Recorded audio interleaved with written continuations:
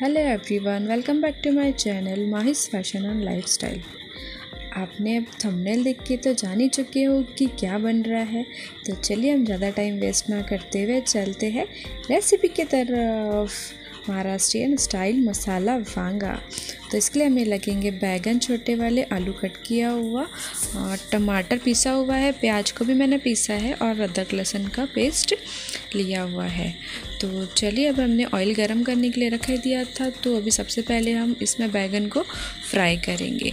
हमें इसे नॉर्मल तरीके से फ्राई करना है, ज़्यादा पकाना नहीं है, एकदम सिंपल तरीके से इसे फ्राई करना है। तो देखिए कुछ इस तरीके का अभी ये फ्राई सा हो जाएगा तो ये फ्राई होने के बाद हमें इस तरह से तरीके तरीके का नोटिस होगा। और ये बहुत झटपट बनने वाली रेसिपी है। इसमें ज़्यादा रॉकेट साइंस नहीं लगाना है। तो ये बहुत टेस्टी बनने वाली मसाला वांगा है महाराष्ट्रियन स्टाइल में। वो भी माही के हाथों का। तो चलिए अब हम इसमें आलू को भी फ्राई कर लेंगे। आलू को भी हमें ज़्यादा पकाना नहीं है। मतलब इसे कलर चढ़ जाए ब्राउन इस तरीके का हमें फ्राई करना है क्योंकि लास्ट में हम सब्ज़ी में से मिक्स करेंगे तो वो हल्का पक जाएगा।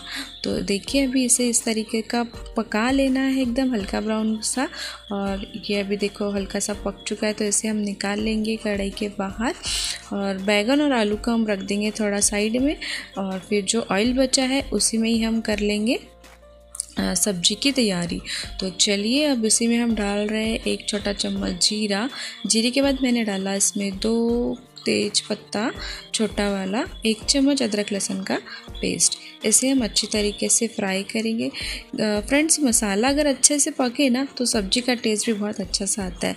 तो मेन पॉइंट अपना होता है मसाला, जो कि बहुत अच्छे तरीके से हमें पकाना होता है। तो अदरक, लहसुन का पेस्ट हमने पका लिया, अब इसके बाद हमने डाला इसमें प्याज की प्यूरी। इसे भी हमें अच्छी तरीके से पकाना है।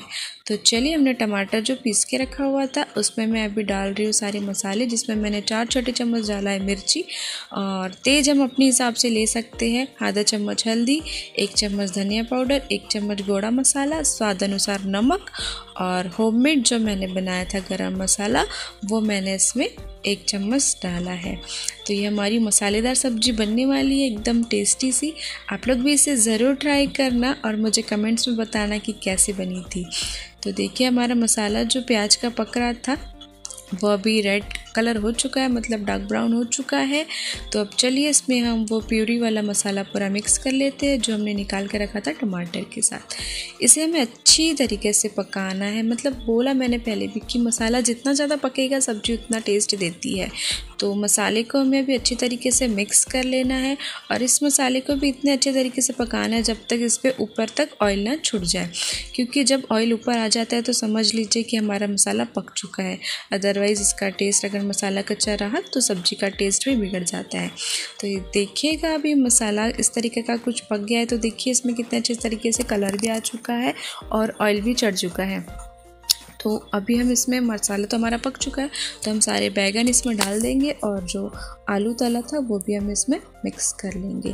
तो फ्रेंड्स मुझे बताना कि आपको ये रेसिपी कैसी लगी और मुझे कमेंट्स में ज़रूर बताना कि आप लोग ने इसे ट्राई किया या नहीं, क्योंकि ये खाने के बाद बहुत टेस्टी बनती है बहुत ज़्यादा। तो आप लोग भी इसे ज़रूर ट्राई करना और मुझे कमेंट्स में बताना कि सब्ज़ी कैसी बनी है। और अब तक मेरे चैनल को आपने अगर सब्सक्राइब नहीं किया है तो प्लीज़ इसे सब्सक्राइब कर लो ताकि आने वाले वीडियोज़ की नोटिफिकेशन आपको सबसे पहले मिले। वीडियो को लाइक करें और शेयर करें। मैं मिलती हूँ आपसे अपनी नेक्स्ट वीडियो के साथ। तब तक के लिए बाय बाय एकदम टेस्टी सी सब्ज़ी रेडी है खाने के लिए।